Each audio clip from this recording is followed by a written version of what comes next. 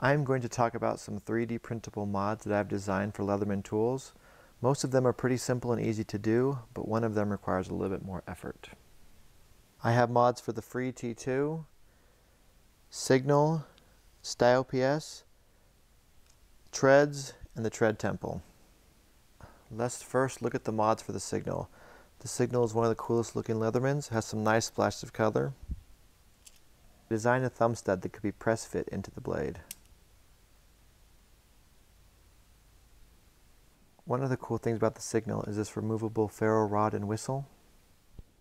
I designed this replacement part. It still has the whistle, and you can also cut off some ferro rod and glue it in.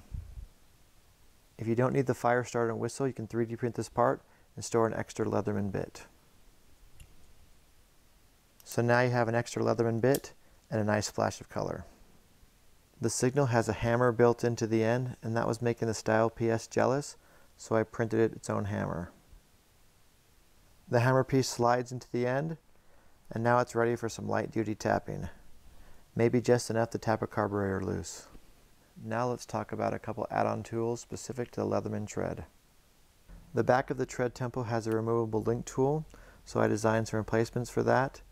The plastic's probably not strong enough to turn a screw, but you could possibly use it to make a negative mold for casting. Some of the handy things about the Victorinox Classics are the included toothpick and tweezers, so I added that functionality to the back of the tread tempo. This piece stores tweezers and a toothpick. And here it is installed on the back of the tread tempo. Even though it sticks out a little bit, it's still pretty comfortable to wear. This next part fits the tread tempo and the regular size tread. It's a full-size link that carries a mini toothpick. I've also designed full-size links if you lose a link or want to expand the size of the bracelet. These work for the tread tempo, the regular tread, and the tread LT. This is a link for the tread tempo and the regular tread that has a whistle built in. This last mod requires you to disassemble your free T2, but if you do, you can add a splash of color. This is the original middle part for the free T2. I took it apart, modeled it, and 3D printed it. You have to keep track of what you're doing during the disassembly and reassembly part, but it's a cool way to add a splash of color.